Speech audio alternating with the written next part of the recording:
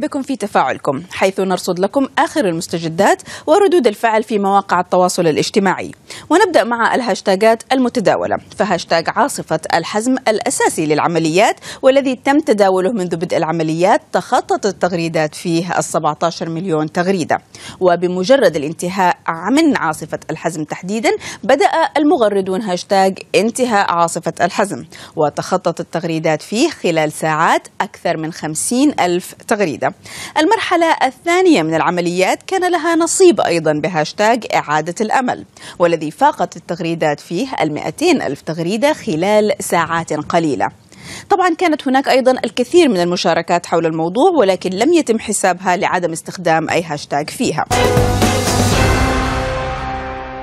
تفاعل كثيرون مع انتهاء عاصفة الحزم وابتداء إعادة الأمل بالصور.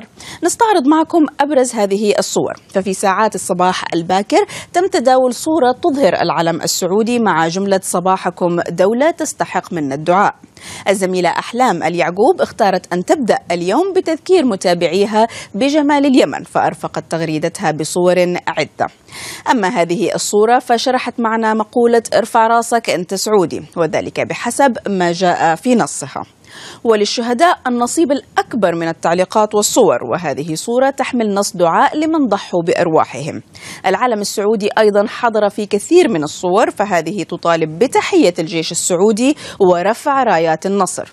في هذه نجد صورة للملك سلمان وهو يشرب القهوة وصورتين معبرتين لزعيم الانقلابيين الحوثي وأمين عام حزب الله حسن نصر الله.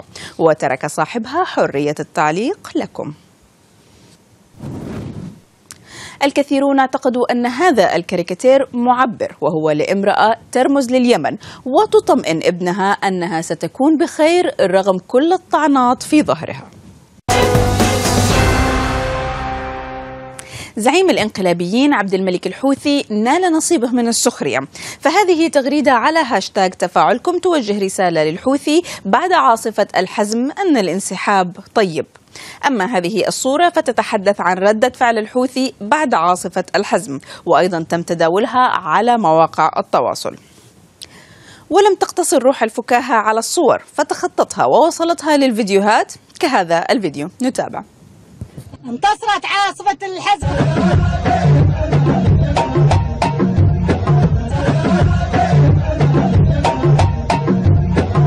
كما عاد هذا المقطع للتداول وهو مقطع قديم لجنود يحتفلون ولكنه عبر عن مشاعر الكثيرين في عاصفة الحزم. نتابع.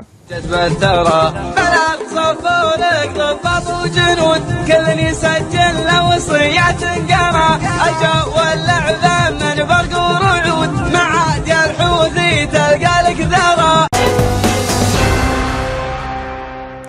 الكثيرون في مواقع التواصل اكتفوا بالكلمات الشهيرة للعرض النجدية نحمد الله جت على من تمنى التي كتبها الشاعر الراحل عبد الرحمن الصفيان والبعض تداول هذا التسجيل. نتابع. نحمد الله جت على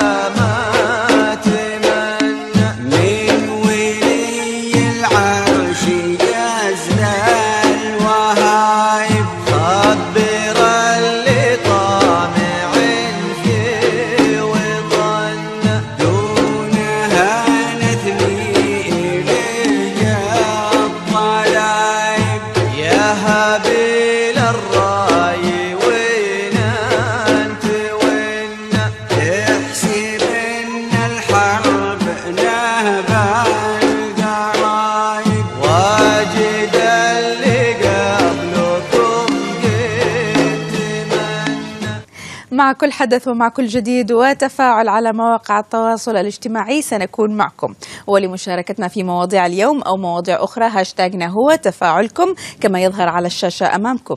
إلى اللقاء.